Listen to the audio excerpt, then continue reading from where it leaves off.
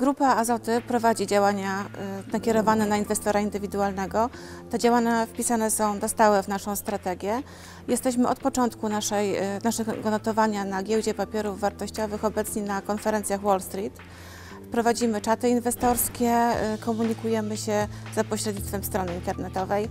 Te działania zostały docenione zarówno przez Stowarzyszenie Inwestorów Indywidualnych, przez y, akcjonariuszy, a także przez Ministerstwo Skarbu Państwa, które nagrodziło nas y, nagrodą specjalną za komunikację właśnie za pośrednictwem strony internetowej.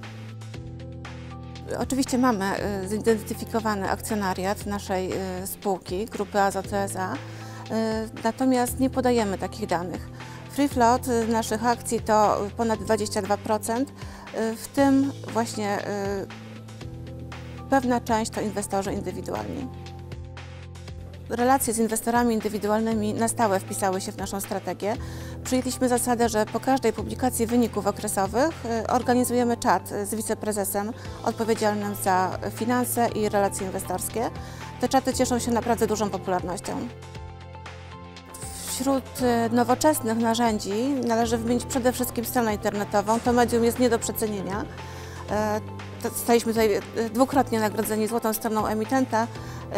Wiemy też, że inwestorzy doceniają zawartość merytoryczną tego, co przedstawiamy na stronie. Żeby ubarwić tą stronę, zamieszczamy na niej filmy wideo z komentarzami do wyników okresowych. Próbujemy także przekazywać i docierać do naszych akcjonariuszy za pomocą Twittera czy innych y, mediów, y, social mediów. Inwestorzy najczęściej zainteresowani są dywidendą oraz y, realizacją strategii.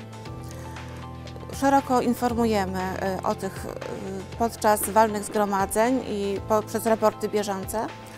Natomiast te pytania pojawiają się również na czatach, stąd wiemy, że te te obszary są objęte dużym, cieszą się dużym zainteresowaniem akcjonariuszy. W mojej opinii materiały wideo odgrywają coraz większą rolę w komunikacji z inwestorem. Staramy się y, podążać tym trendem i zamieszczamy na naszej stronie relacje z konferencji wynikowych, prezentacje oraz y, wideo komentarze prezesa zarządu do wypracowanych wyników.